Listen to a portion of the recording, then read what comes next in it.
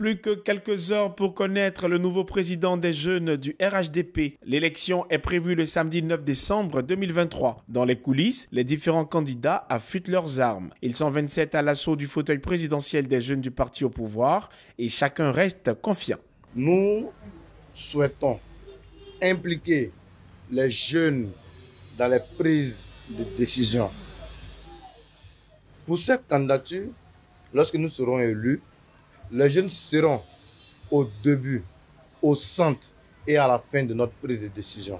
De leur côté, les jeunes espèrent que le nouveau président sera à la hauteur des attentes du parti. Pour euh, ces élections-là, d'avoir euh, un président capable de fédérer les forces, capable euh, de porter la voix de la jeunesse dans les plus hauts lieux du parti. Les dés sont jetés, verdict le samedi 9 décembre 2023.